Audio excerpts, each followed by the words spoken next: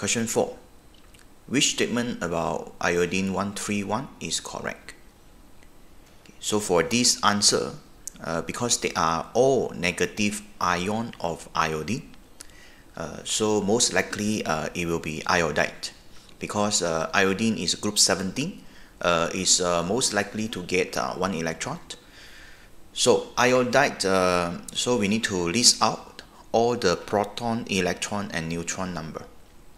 Okay, so since uh, it's given the, the nucleon number, uh, so it's 131, uh, so we know that uh, the proton number of course is the uh, is 53.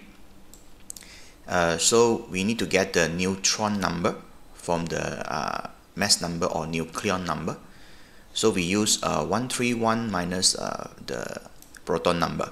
So we get 78.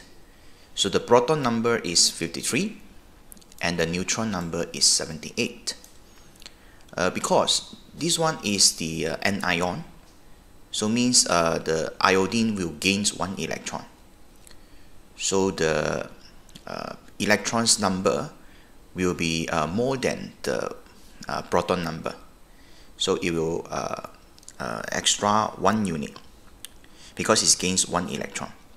If it's neutral then the protons and electrons uh, numbers they are the same.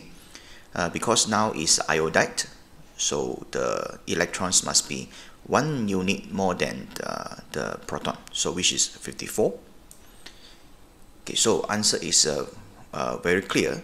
We know that uh, is 78 neutron and 54 electrons. So answer therefore is D. Okay that's all. Thank you